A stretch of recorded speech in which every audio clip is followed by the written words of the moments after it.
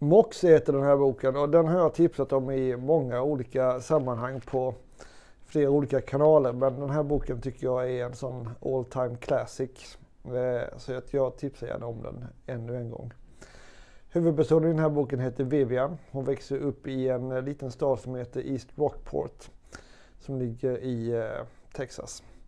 Och hon går på en eh, high school där det finns ett väldigt inflytelserikt fotbollslag som sätter tonen för vad som sägs och vad som görs. Och det är en ganska sunkig eh, mental miljö, det är mycket sexism och eh, eh, framförallt killarna i det här fotbollslaget kommer undan med rätt mycket.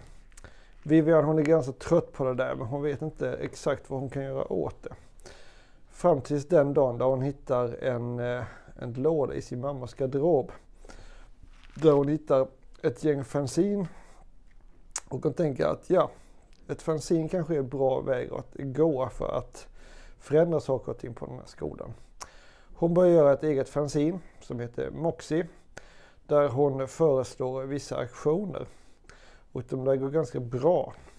Men såklart är det ju mäktiga personer som tycker att eh, Moxie ställer till mycket oreda och konflikter. Men Vivian hon är fast besluten av att saker och ting ska ändras.